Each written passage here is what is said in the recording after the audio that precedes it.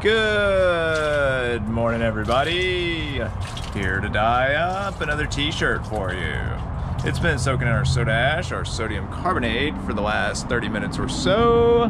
We're gonna twist it up and throw some color on it. Come along for the ride. All told on this one, we have turquoise, dragon fruit, and golden yellow.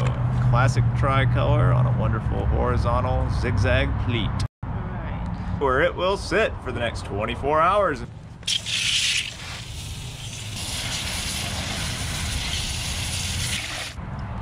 To the inside.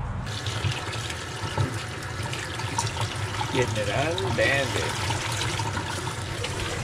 Ooh.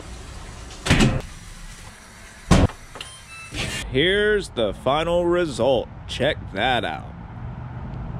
Wow. Let us know what you think in the comments below.